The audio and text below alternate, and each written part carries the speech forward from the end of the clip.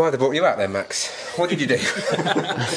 yeah, it was nice to be back out there and get the goals and the assist. Um, it's been long two months getting back fit, but I'm happy to be back out on the pitch now. For somebody who appears to to kind of live and breathe it, you know, every moment is an opportunity. It's from the outside looking in to be out for a couple of months. It must have been two very long months. Yeah, it was a killer. Um, when the, the team was winning or losing, I just was desperate to be back out there. But obviously, I had to listen to the physios. They they know best. So it was a waiting game. Obviously, get myself in the gym and stuff like that, so I could come back and be 100%. And it certainly appeared like you were um, 100%. Obviously, you had a little bit of a taster last week. Um, one kind of half chance maybe was a ball was fizzed across, but but today um, no one else was taking that penalty, were they? Nah, um, no one was taking that pen. As soon as I won it, I knew need to get back on the score sheet as soon as possible. So picked the ball up and obviously it was a long way for the penalty, but I knew what I was putting in and I was always going to score. And the second one, um, saved I think first and then the second time of asking. Yeah, I was just in and around uh, the goal. That's where most goals are scored. So it was just about being in the right place when Cam nodded it down. Uh, I think it came off my face and then just had to put it in at the end. And a couple of assists as well.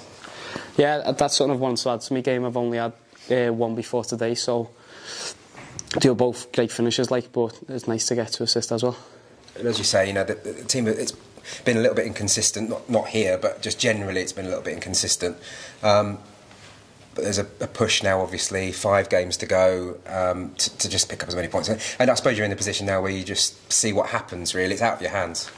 Yeah, we just got to focus on ourselves. Win our last five games. That's all we can do, and see where it gets us. Um, yeah, you say we've been a bit inconsistent. We need to get that away form back to what it was near Christmas time. And if we can get that, then I don't see why uh, it can't happen.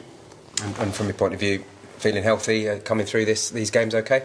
Yeah, feeling all good, uh, getting a lot of training in and that, so just about getting fitter and fitter leading into the last five. Manager said that you were chomping at the bit to, to get back, saying that you barely to, you barely felt any injury um, in those first couple of weeks.